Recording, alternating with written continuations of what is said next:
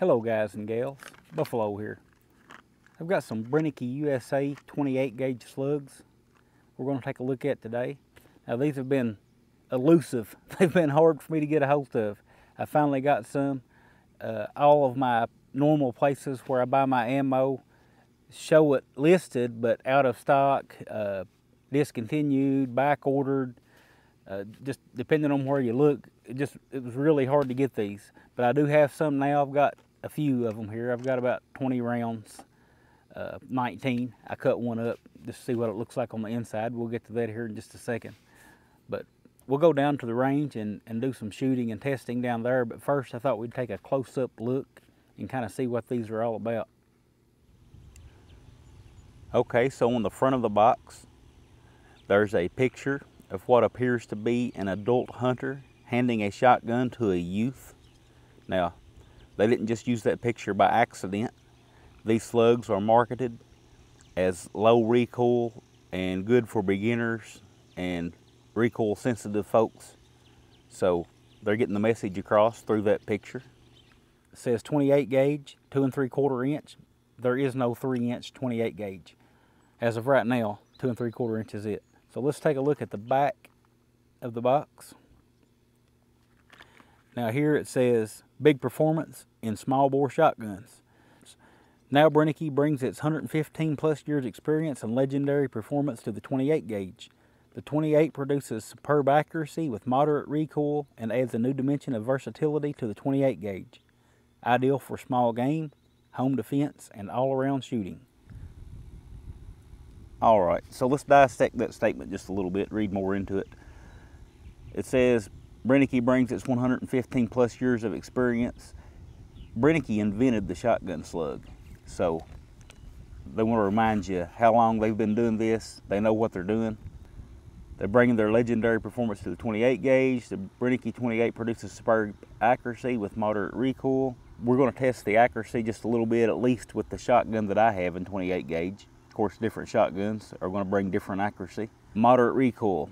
Again, these are kind of marketed for people that don't want the recoil of a 12 gauge, 10 gauge, or a even a lightweight 20 gauge has a lot of felt recoil because there's just not much gun there to soak it up. So these definitely are going to have moderate recoil and adds a new dimension of versatility to the 28 gauge. Yes, it does. As far as I know, these are the only factory made shotgun slugs for the 28 gauge.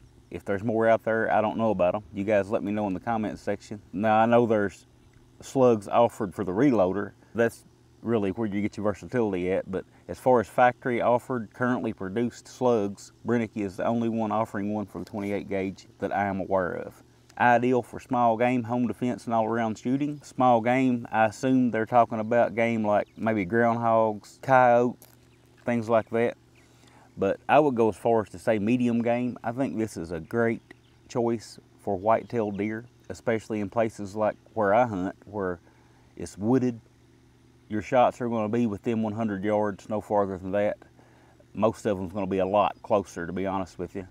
Home defense, of course, it's a 28 gauge. Nobody, no bad guy is going to want to get hit with a 28 gauge slug, any shotgun slug for that matter.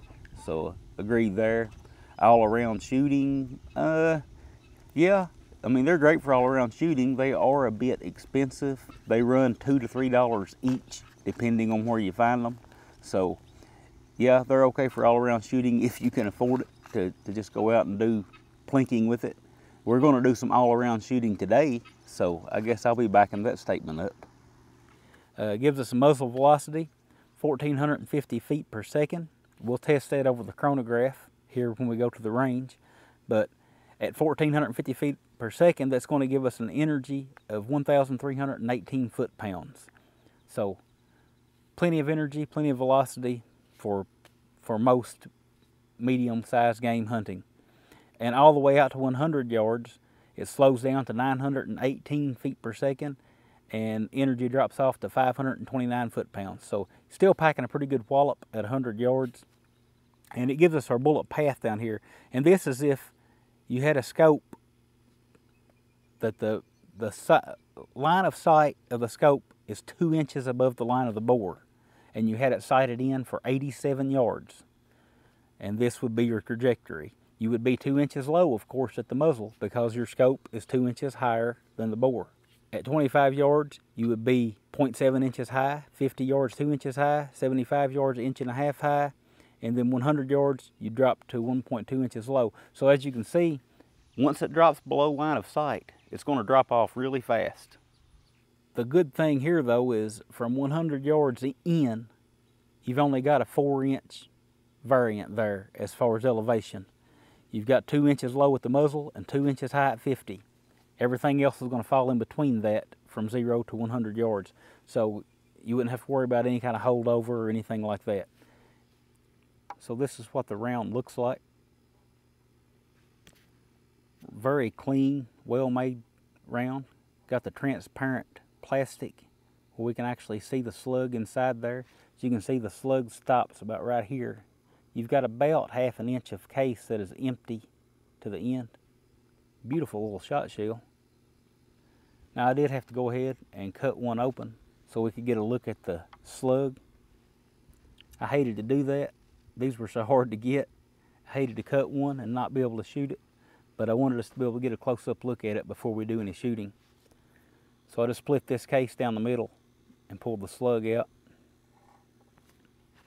As you can see, it's got that distinctive Brenneke wad there. That's a plastic wad connected to the lead slug. Now, I already mentioned that these weigh 5 eighths of an ounce, or at least that's what it tells us on the box. 5 eighths of an ounce is going to come out to about 273 and a half grains. I weighed this on my RCBS scale and came up with 272.1 grains, so very close to what it's advertised. Then I removed the plastic wadding and weighed the lead slug alone and got 249.4 grains. So you're looking at a pretty good chunk of lead for such a small shotgun. The 28 gauge bore, of course, the nominal bore size, is 550 thousandths if you were looking at a bore size. If you measured a 28 gauge the way you would measure a 410 bore, it would be 550. So I put my calipers on the slug and got 551 and a half thousandths of an inch. So just a touch bigger than what the bore diameter would be. And that's just to keep a good seal on the bore as it goes as it travels down the barrel. these sharp edges on the slug, the shoulder, kind of reminds me of a wad cutter in a handgun round. And we know wad cutters, they cut a perfect circle and, and do a lot of damage.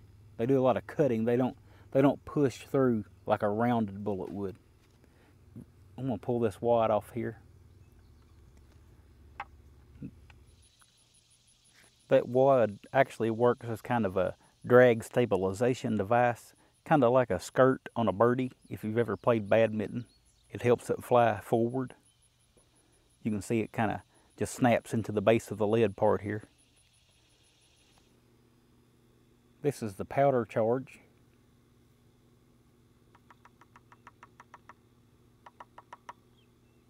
If anybody's interested in that, I guess I should turn the camera where you can see it. So that's the powder charge that came out of the shot shell. And that's all there is to it. You've got your, there's still more powder in there. You got your primer, powder, wad, and slug. That's all there is to it. So with that being said, let's head down to the range and we'll do a little bit of shooting, a little accuracy check and and see what we can destroy with this slug. All right, so we're down here at the range. Let's start off by getting some real world numbers. I've got my TriStar Viper G2 28 gauge. It's a very lightweight 5.2 pound semi-automatic 28 gauge shotgun. Has a 28 inch barrel, running a skeet choke. Got the ballistic precision from Caldwell chronograph over there.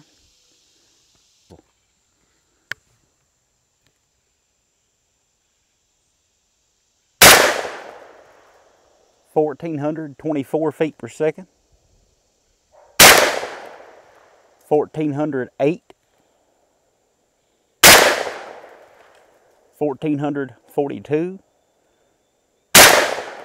1,395, and 1,415 feet per second. So let's go crunch these numbers and see what we've got. All right, guys, so if my Kentucky math is correct, that gives us an, a mean velocity of about 1,417 feet per second, a standard deviation of 18, and an extreme spread of 47 feet per second. So uh, very close to what's advertised. You know, that's uh, that's not bad at all. Uh, standard deviation's pretty good. So I guess the question is, can I hit anything? Uh, haven't shot these at a target yet, so this is the very first time that I'm going to put one on paper. Have no idea where they're hitting, so I'm going to start out at 25 yards here, uh, shoot a three shot group, and just see where they're hitting at. See what my hold needs to be to move farther back.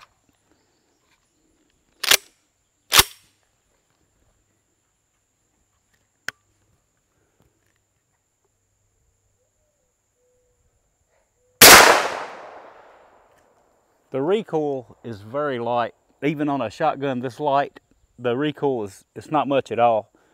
About anybody that's actually big enough to go deer hunting could could handle one of these.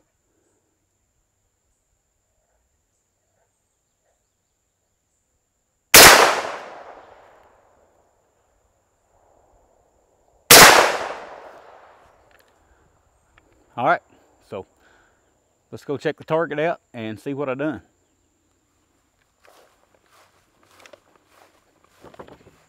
All right, so three shots, all on target here. Very happy with that elevation and even the windage isn't off by much, just a little to the left.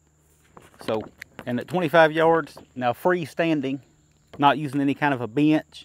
And you also have to take into consideration that I've just got a bead on the shotgun. I'm not using any kind of rear sight or an optic or anything like that. You could obviously decrease the size of these groups dramatically.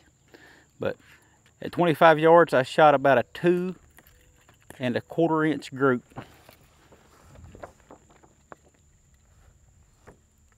From center to center of the farthest two, about two and a quarter inches. So that gives me confidence to back on up to 50 and give it a try. We'll see what we get then. I do see, though, some evidence of y'all that these ripped holes. Look how nice and round that one is. You can tell that it hit straight on. These two here are ripped to the side, which is evidence of that slug and that wad that's connected to the slug kind of yawing left and right as it goes down range. So we'll see, we'll see what it looks like at 50 and see what it does.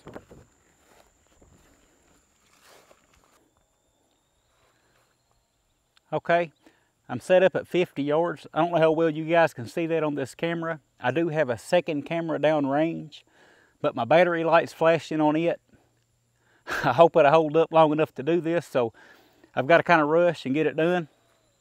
Three shots, 50 yards.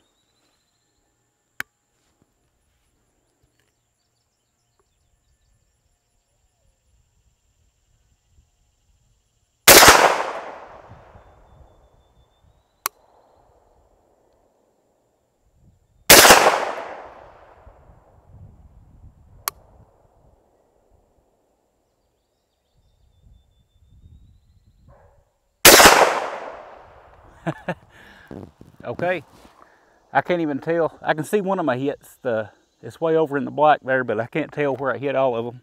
So I'll walk down and grab the target and we'll take a look at it. Okay, 50 yard target. Shot.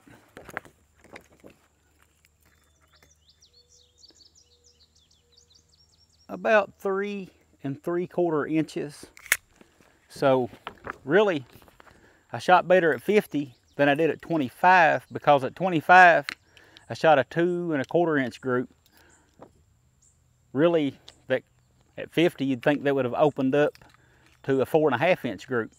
So shot a little better that time. The I, I switched the choke out between those two shoots. I noticed the yaw in that 25 round group, so I went to an improved cylinder. I went from a skeet to an improved cylinder, so I just added just slightly more constriction in the choke. You can see I'm still getting some yaw. It's ripping the paper up, but I, I thought maybe adding a little bit of choke would help, and it may have helped a little bit. Uh, they don't look quite as bad as they did on that 25 yard target, but it is what it is. That's uh, offhand shooting at 50 yards. Take it for what you will. I don't have a real solid bench down here to set up. Uh, I've set up a little table before and done some group shooting and basically I just get laughed off the internet. So I'm not going to do that. I'm just going to shoot the best I can freestanding and that'll be my accuracy check. Just know that you can do much better than this if you wanted to sit down on a bench and really take your time and, and shoot. But I just do real world shooting here anyway, so I'm happy with that. So we know I can hit with them. We know how fast they're going. We know their energy level. So let's find a couple of things to shoot and do some uh, penetration tests or, or maybe just find something to destroy here. All right, guys, so let's start out with some water jugs. I've got eight jugs lined up here. Let's see how many we can get through with a Brenneke 28 gauge 5 8 ounce slug.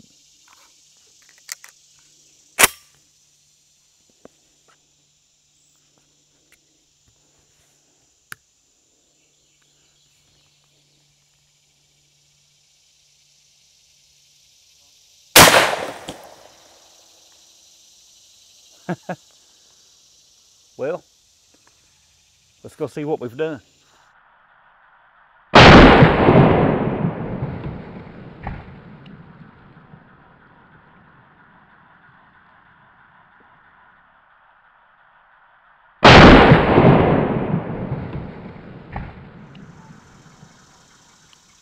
All right, guys, so I hit that at a bad angle. We went through four water jugs you can see here, there's three of them. And then this fourth one I hit kind of high and it came out the side and kind of veered off and missed the rest of the jugs. So what I'm gonna do is I'm gonna try to just shoot these again and hit this one a little lower. See if we can wipe these out. All right, water jugs, take two.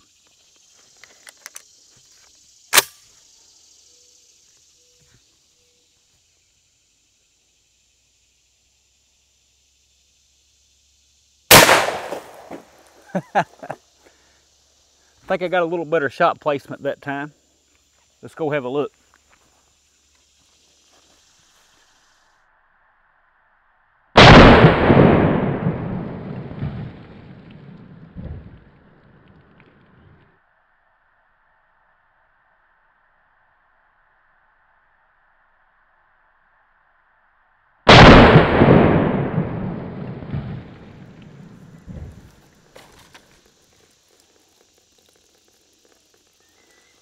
All right, so we only got two jugs left on the table.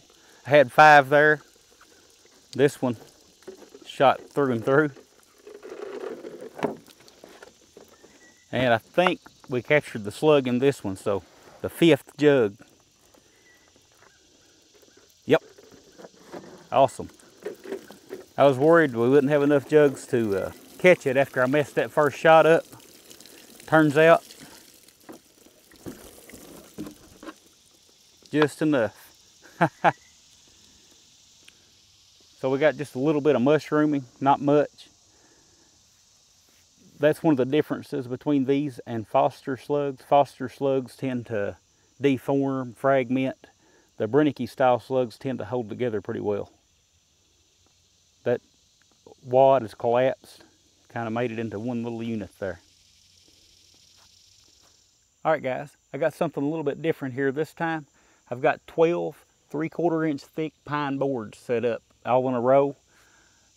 I've got the top braced. I got a lot of suggestions from you guys when I was doing the tile videos that the domino effect of just knocking the tile over was having an effect on my results as of how many tile I was shooting through. So I did brace these at the top.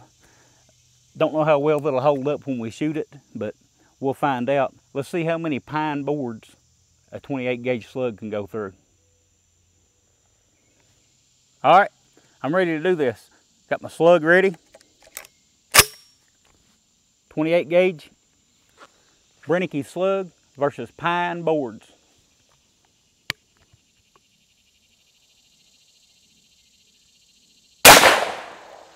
Looks like a pretty good hit there on the front. Let's see what I done.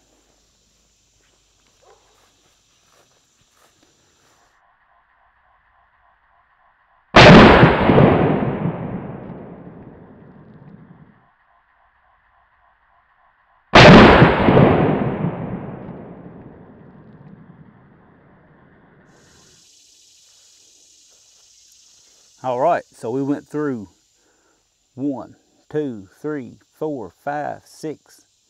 We went all the way through six boards, and this seventh board got smacked pretty good. It actually split the board.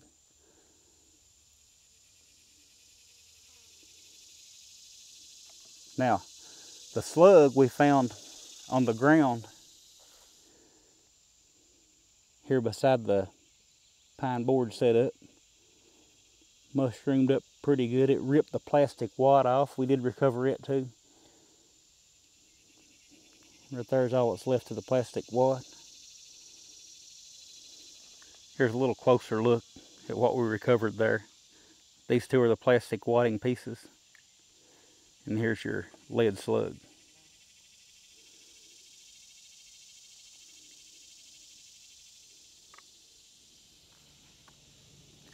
All right, guys, so that's going to conclude my look at the Brenneke USA 28 gauge shotgun slug. Kind of ballistically, some of my 44 Magnum, my medium 44 Magnum rifle loads are comparative to some of this stuff. I guess a better comparison would be a 54 caliber black powder muzzleloader. Probably be kind of similar to the results you're going to get.